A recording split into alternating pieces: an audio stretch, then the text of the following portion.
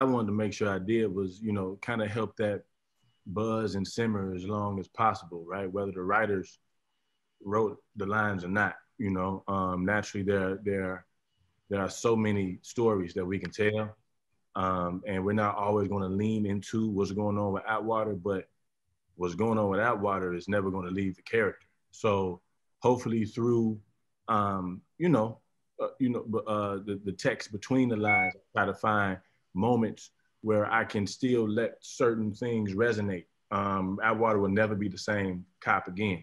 So what you can look forward to is is the, the struggle of me trying to uh, trying to lean in regardless whether I have the lines or not.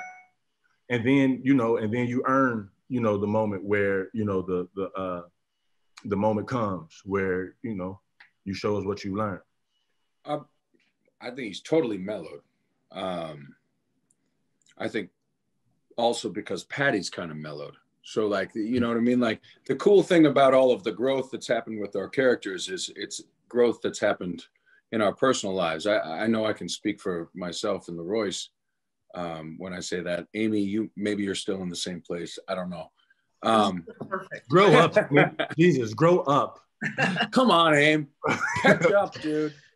Uh, no, uh, I think um, I think that uh, you know Ruzek has policing in his blood, and I think that um, he came into it, you know, all gung ho, very excited. Uh, you know, wants to be the best cop. He looks up to his dad. He looked up to Alvin Olinsky.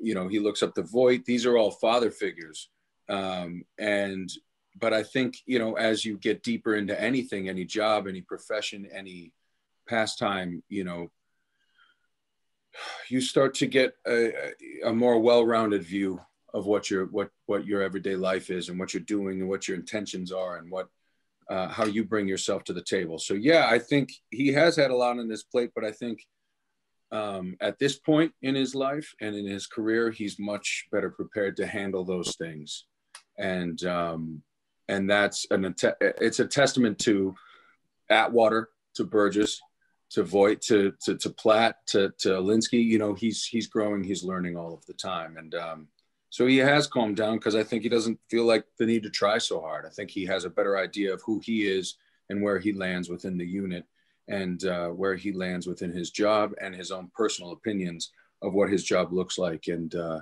what the uh, um, uh social impact of his job is. I think that I think that Burzek, I think that these are two people that just can't get away from each other. You know what I mean? I think they they try.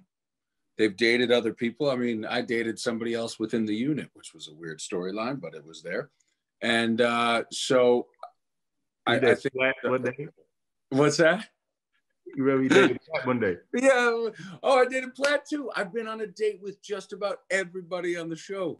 Um, best best episode by the way amy. I still like i'm like that and my introduction when i kicked over the table are my favorite. No i think i think these are just two two people that can't get away from each other. I, I that's how i've always seen it is it's just it's like this built-in thing you know? You, they talk about soulmates and i think that sometimes that's hokey pokey romance novels that you pick up in the grocery store and i think that sometimes that's reality